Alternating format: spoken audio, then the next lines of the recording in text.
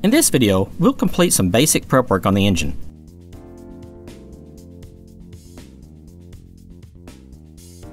Remove the top radiator hose from the passenger side of the cylinder head.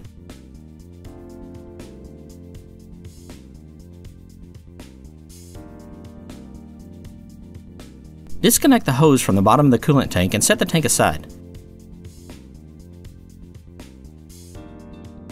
Disconnect the other end of the hose. It'll either be attached to a plastic T or the thermostat housing. Find the small U-shaped hose in your Stage 1 hardware box. Mark the hose to match the heater tubes. Cut at these marks.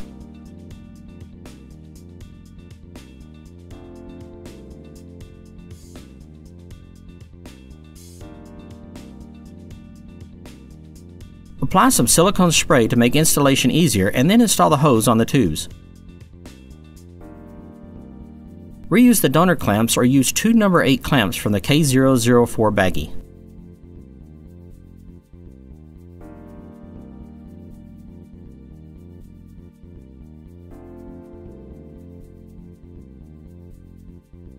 If your car is not supercharged and you want to remove the AC compressor, use a 3 8 drive ratchet to lift the belt tensioner. Remove the belt.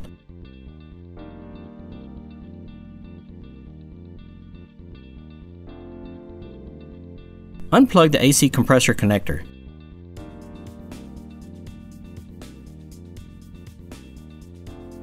Use a 13mm socket to remove the compressor bolts.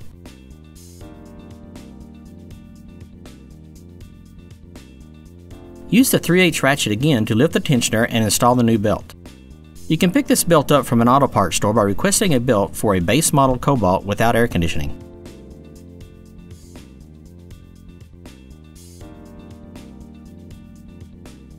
Find the brake booster vacuum hose. Cut it where it straightens out in front of the engine. Do not discard the cut piece. Insert the half inch nylon tubing from the Stage 1 hardware kit in the hose on the engine. Fasten it with a number 6 clamp from the K004 baggie.